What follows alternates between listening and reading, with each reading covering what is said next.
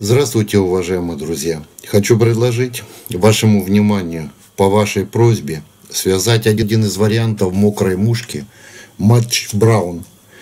Ну, в принципе, это она по этому же э, принципу и будет изготавливаться. Единственное только то, что крыло мы будем под свои материалы делать.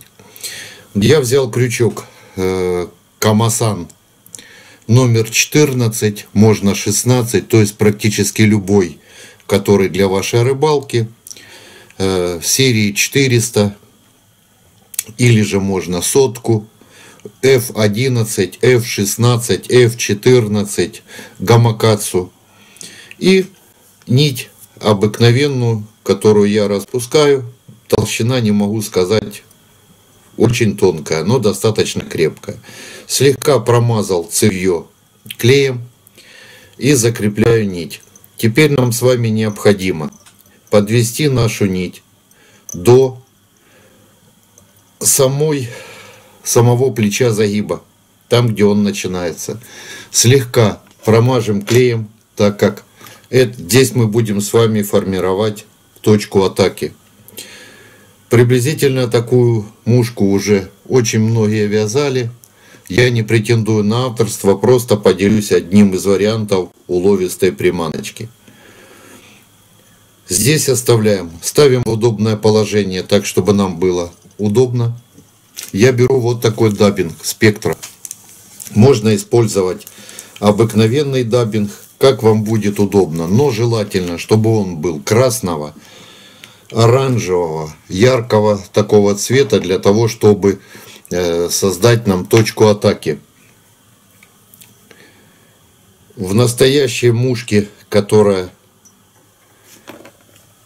послужила прототипом, как говорится, такой точки нет. Но в нашей полосе, это юго-восток Украины, я изготавливаю эту мокрую мушку для поимки практически любой рыбы белой, которая у нас обитает. И плотва, и уклейка, и красноперка, и голавль. Перечислять можно до бесконечности. То есть любая рыба реагирует на эту мокрую мушку. Сформировали вот такой небольшой шарик. И теперь нам необходимо немножко промазать клеем нить и еще слегка пройти по дабингу, для того, чтобы наш дабинг стал таким небольшим конгломератом, для того, чтобы можно было быть уверенным за то, что прослужит он долго. Вот так будет достаточно. В принципе, это можно будет спокойно взять потом и капнуть капельку лака или же клея. Теперь нам понадобится обыкновенный даббинг, в частности, вот, э, как я вам уже неоднократно рассказывал, это вычесал своего любимого кота и взял вот такой материал, немножечко подстриг его и изготовил вот такой даббинг. Можно добавлять блестящие элементы, можно не добавлять. Перед изготовлением тела я беру вот такой плоский люрикс, который достаточно крепкий. Э, можно его заменить проволокой, леской, чем угодно для того, чтобы потом хорошо промотать тело, которое мы будем изготавливать. Закрепили наш материал. И теперь нам необходимо изготовить даббинговую нить и изготовить тело. Тело желательно, чтобы было серого, или же коричневого, болотного, нейтральных тонов для того, чтобы не раздражать ту рыбу, которую мы будем с вами пытаться поймать. И, как вы видите, вот таким тоненьким жгутиком, сильно не наматываем большое количество, создадим, начиная от нашего шарика, пусть он и остается у нас значительно больше по диаметру, начинаем формировать наше тело.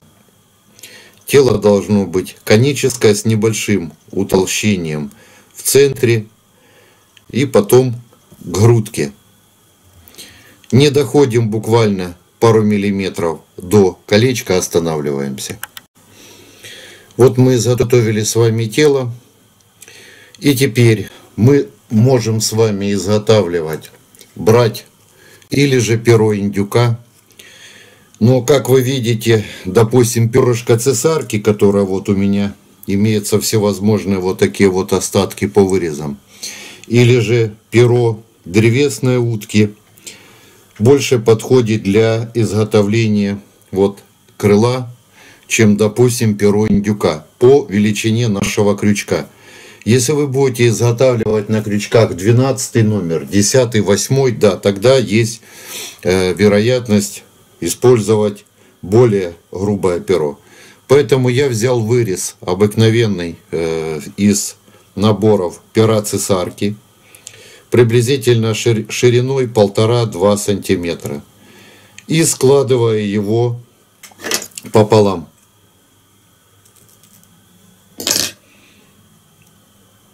Естественно, бородки у меня должны быть подравненные. Смотрим длину, величину. Должен наш, наше крылышко должно слегка заходить за э, загиб. Можно больше, можно меньше, это вы уже выберете по э, своей рыбалке. Переставляем руки, удерживаем в таком положении. Не отпускаем, выровняли длину. И теперь, так как мы выберем с вами пальцами наклон, он такой и останется. И притяжной петлей сперва один раз подхватим, потом второй раз подхватим, пару оборотов выполним для того, чтобы можно было отпустить наше перо и посмотрим, как мы его закрепили. Как вы видите, вот, так, вот такое положение меня в данный момент оно устраивает. Теперь нам остается только лишь удерживая, закрепить окончательно материалы, удалить остатки и для опушечки подобрать перышко. Я закрепил перышко, подобрал из э, скальпа курочки Сибрайта, крашеная вот такое флуоресцентное. Если по каким-либо причинам у вас нет такого пера, можно изготовить из любого пера, которого вы сможете из шеи подобрать для э, жабо.